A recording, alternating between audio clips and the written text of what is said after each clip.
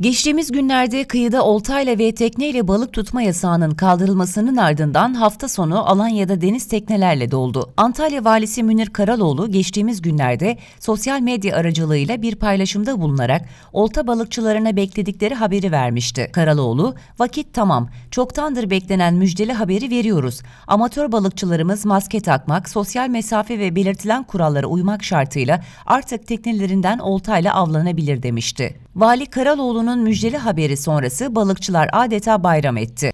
Aylardır balığa çıkmayan vatandaşlar Ramazan ayı olmasına rağmen teknelere binerek balık avına çıktılar. Alanya'da hafta sonu boyunca deniz üzerinde yüzlerce tekne görünürken balıkların da bu süreçte eskiye nazaran bir nebze arttığı vurgulandı.